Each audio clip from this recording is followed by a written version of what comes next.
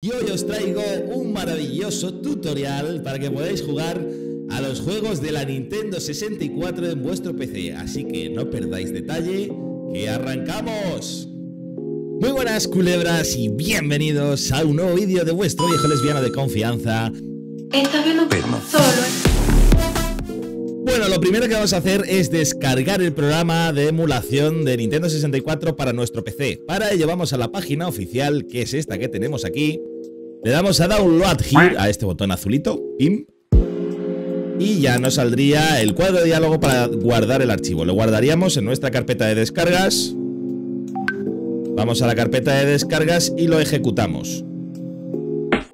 Vamos a ejecutar. Dimos que sí. Le damos a siguiente, lo instalamos en el disco duro de los juegos, en mi caso en el vuestro donde vosotros tengáis vuestros juegos. Siguiente, os recomiendo que uséis el modo portable, porque así si vais a casa de vuestro tío de las cosquillas y os quiere hacer cosquillitas, podéis iros con, el emulador Nintendo 64. Siguiente, ¿vale? Y le damos a Finish y desmarcamos lanzar. Vamos a la carpetita donde hemos instalado el programa. Esta sería la carpetita.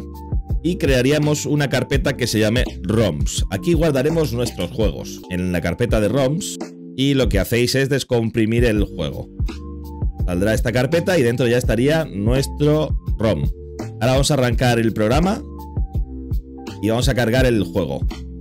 Lenguaje, podéis seleccionar el que más os guste. Yo le voy a poner español. Y también podéis seleccionar el directorio donde están los juegos. En este caso es la carpeta ROMs que hemos, que hemos creado anteriormente. Hay dos opciones.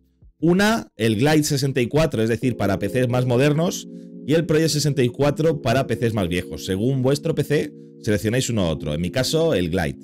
Bueno, y este sería el programa. Como veis, sale aquí Super Mario 64. Como está en la carpeta de ROMs, pues lo ha leído el programa.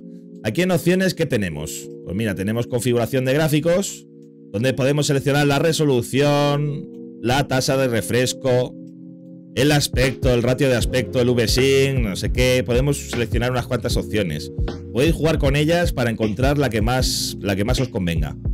Luego tenéis aquí en emulación unas cuantas opciones que en principio no debéis tocarlas. En frame buffer tampoco. En texturas podéis jugar con, con unos filtros para las texturas. OSD, pues un poquito cambiarle el aspecto al programita.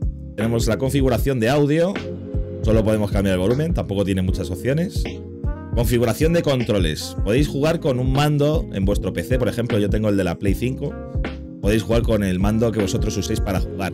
Si no sabéis instalar el mando en vuestro PC, os dejo ahí una lista de reproducción donde os enseño cómo conectar vuestros mandos al PC. Para configurar el mando haríamos lo siguiente.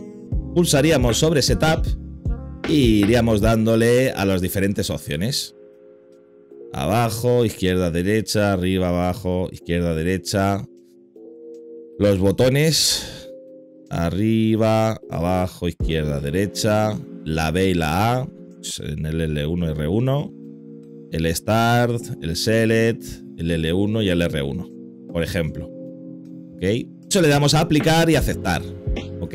No hay más opciones, así que nada, lo siguiente que haremos será pulsar sobre el juego, hacemos doble clic y para verlo en pantalla completa usaríamos el Alt más el intro. Vamos a bajar un poquito el volumen.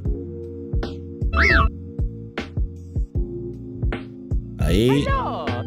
Si le damos al Alt y al intro, tendríamos nuestro juego a pantalla completa, como veis en la imagen.